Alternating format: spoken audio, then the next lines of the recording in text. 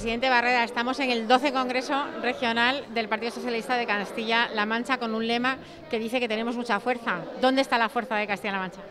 Sin duda ninguna en los hombres y mujeres del Partido Socialista que tienen una imbricación en la sociedad impresionante, porque en gran medida lo que hoy es Castilla-La Mancha se debe a lo que los socialistas hemos ido haciendo a lo largo de los años y nuestra fuerza está en nuestros hombres y en nuestras mujeres. Y en un líder cada vez más fuerte, valorado incluso por los que no son del peso de Castilla-La Mancha. Sin duda ninguna, eso es una condición muy importante. Y Emiliano García Paje, en efecto, es un presidente que sabe serlo de todos los castellano-manchegos, con independencia de su coloración política o ideológica. Y el secreto para conseguir ese apoyo transversal está en su moderación y en su compromiso por encima de cualquier otro con su propia región, con sus propios hombres, con las mujeres de Castilla-La Mancha y eso al final los paisanos lo saben, lo notan y lo saben. Va a ser este el Congreso de la Igualdad, del regionalismo, del sentimiento de región y del sentimiento también de España. Sin duda ninguna. En Castilla-La Mancha siempre nos hemos sentido la parte de un todo. El todo es España. A nosotros nos corresponde defender esta parte.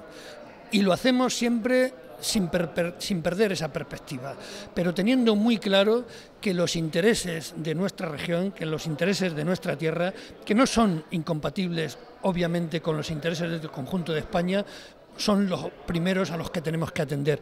Yo creo que ahí está también una clave que ha sido muy importante estos años, en la que no todo el mundo ha reparado, pero si en Castilla-La Mancha no hay ningún partido regionalista ni ningún movimiento de ese tipo, la razón está en que el Partido Socialista de Castilla-La Mancha es también el Partido de Castilla-La Mancha. Si es importante Castilla-La Mancha en el total de España, también es importante el Partido Socialista de Castilla-La Mancha en la actualidad política general. Sin duda ninguna, porque somos una federación fuerte, potente, leal al conjunto y yo creo que eso eh, siempre es una aportación fundamental. En Castilla-La Mancha siempre hemos tenido claros que nosotros solos no seríamos nada.